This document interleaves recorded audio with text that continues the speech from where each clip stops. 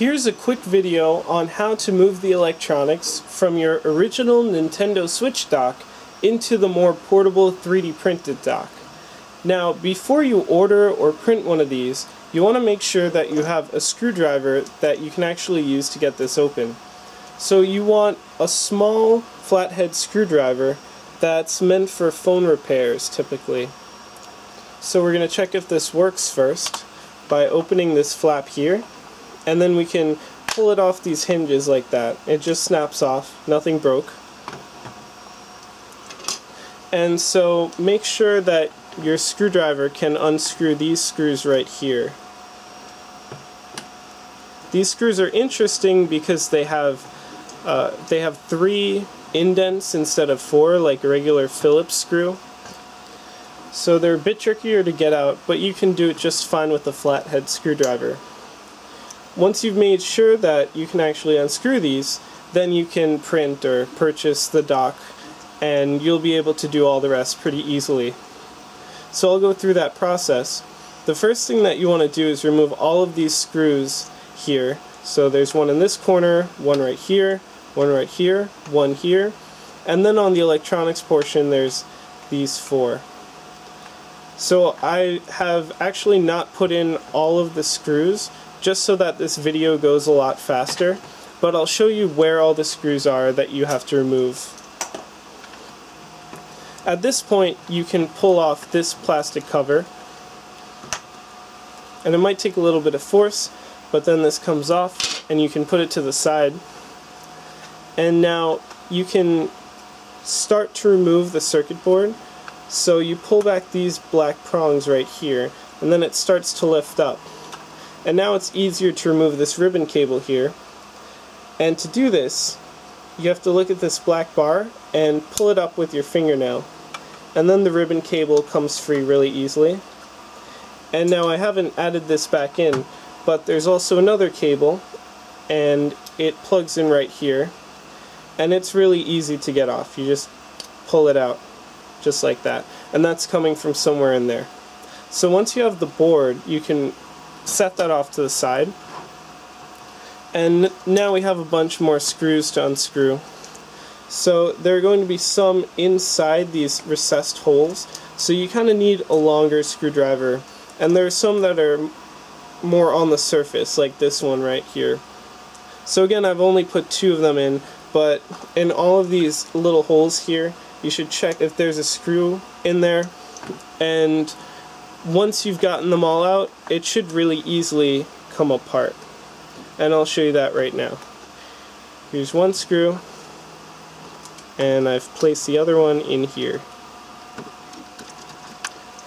So now this part should just lift off and the ribbon cable goes through that hole and this is what it looks like and now you have this assembly right here so this part's a little bit tricky because springs are involved.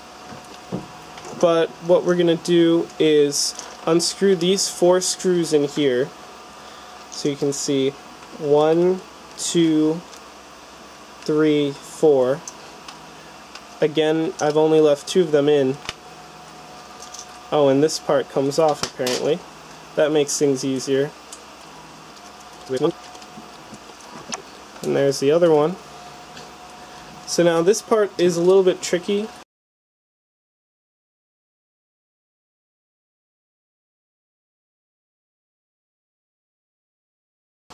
So at this point you're holding this spring assembly right here.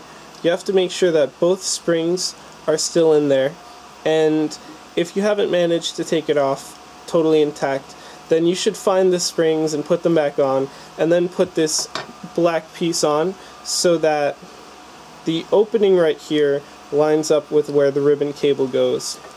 And now we're going to line up the ribbon cable with the front of the 3D printed dock. So the ribbon cable is facing to where the logo is. And then you can start to slide it in right here. And so you can see that this black piece goes through the square hole right there and then this this should sort of line up so that you can put the screws in. So I'll do that right now. For this part you also want to use the same exact screws that were originally attached to this piece. So there's one screw. And for the sake of making this video quick, again, I'm only going to put two screws in there. So now you can see this is firmly in place and it works perfectly. Now we're going to put the electronics in. So what you first want to do is get these two USB ports lined up with the square hole right here. And you want all the connectors to be at the bottom. So it slides in like that. And then you do have to push a little bit to get everything else in, but it snaps right in place and you can see the connectors are perfectly lined up. So now we just put the screws into the five different screw holes. Then you just need to screw in the board through four of these screw holes. There are five different holes, but four is perfectly adequate. Also, it's worth noting that at this point you should be really careful with your screwdriver and make sure that you don't scratch the circuit board at all. So once you've gotten in all four screws, and I've only put in two, then you can connect this ribbon cable back up with the main board.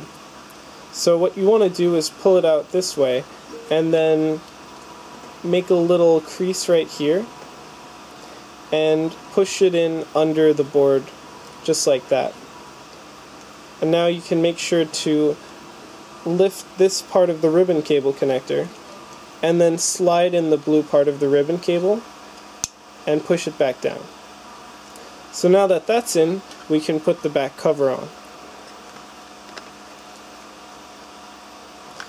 So we make sure to line up the holes and then you can put in whatever type of screw you want. If you have a black one, I suggest using the black screws that we took out of the outside of the case. But I'm going to use the silver screws for now.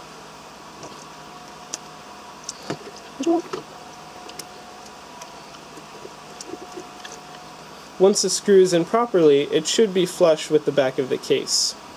Now there's a screw here, right under here, which you should use a short screw for to make it easier, and right here. Then there are just two more screws at the bottom. So once the screws are in, your dock is ready for use. The last step though is to take a couple of the feet off of the original switch dock and put them onto the portable dock. This way it won't slide around on your table. You can just pry one of the rubber feet up with your fingernail and then attach it to the bottom of the dock. Here's what the dock looks like on the inside with all the screws inserted.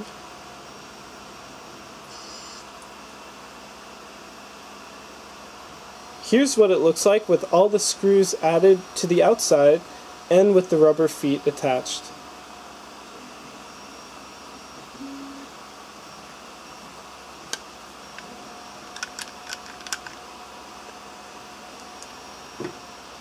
So, thanks for watching, and let me know if you have any questions.